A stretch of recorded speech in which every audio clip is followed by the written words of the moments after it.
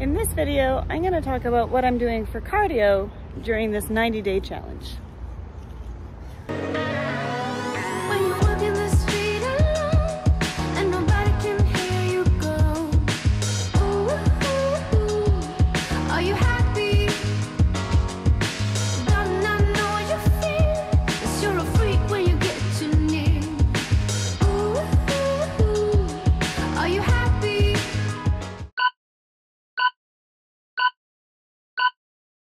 Welcome back, my beautiful humans. It is week three of the 90 day transformation challenge.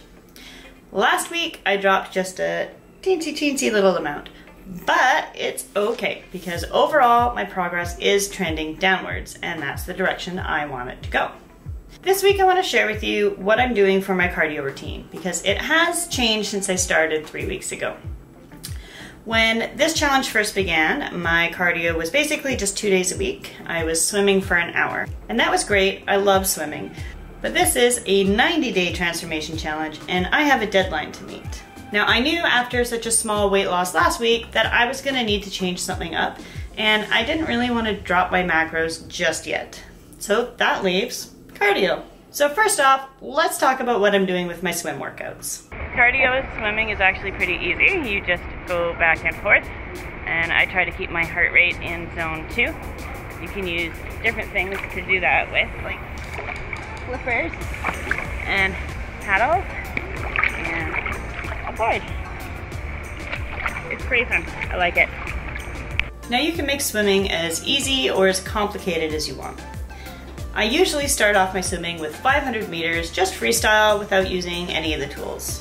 Then I put on a pair of fins and I do the kickboard for probably 300, 400 more meters just to get some work into my legs. And I finish it off using the paddles because with the paddles I can swim really fast. Really fun to swim fast and the paddles kind of make up for my lack of skill. It's also great work for your shoulders and your back. So I do this twice a week uh, I've dropped the time down from 60 minutes to 30 minutes, and then I do an additional 30 minutes sitting in the sauna. The second part of my cardio plan is walking. On the days that I'm weightlifting, I also do a 30 minute incline walk on the treadmill.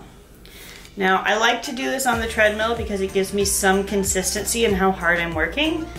Um, I use my heart rate monitor to track and I can set the incline and the speed just so I can stay within a certain range.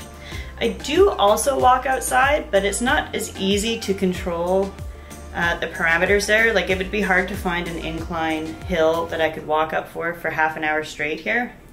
Um, so I don't really count those outdoor walks as a part of my cardio routine. The settings I use on the treadmill are kind of variable. Uh, like I said, I just try, I aim for a certain heart rate. Um, right now for me it's between 110 and 125. That takes me into what's called zone two cardio. Uh, and then I just change the settings depending on where I'm sitting in that heart rate range. So if I get too low, I'll either increase the speed or increase the incline. And if I'm getting too high, then I'll do the opposite. All right, so that's all I have right now for my cardio plan. I'm doing five to six days a week, uh, 30 minutes either on the incline treadmill or a 30 minute swim workout with a 30 minute sauna. And that takes us to the end of another fantastic week. If you're enjoying these videos, make sure you like and subscribe, hit that notification bell so you don't miss a single one, and I will see you next week. Bye.